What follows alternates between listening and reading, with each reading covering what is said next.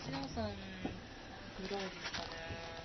ゆきちゃんもなんかやっぱり学校忙しいので。うん。そっか、ゆきちゃん、の先生か。うん。部活が忙しいな。やっぱ吹奏楽なんだ。そうですね。任の先生が。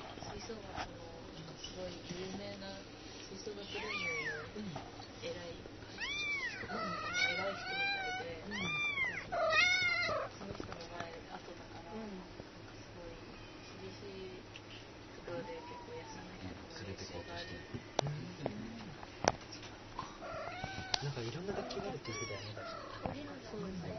先生も大きいみたいです。大丈夫か。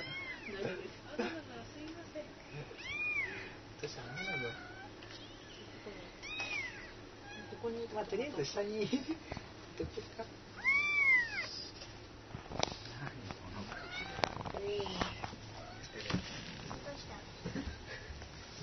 びっくりしました。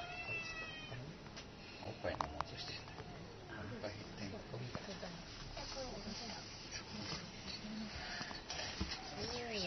のふわふわの声よくまた家にってきてるちょっと授業とかもこうちょっとやってんのかね新しいとやっぱり有料とか難しいですよね。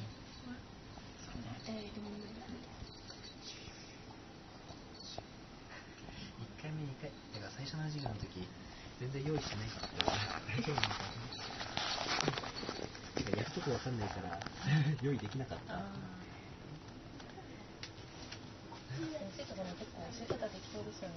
ああそうだね。先生によってはそうだよね。ゆきちゃんなら頑張って教えてるんだろうけど。よくこいつ先生になれたなってやつたまにいるもん。本当ですよね。なんか他に starting it.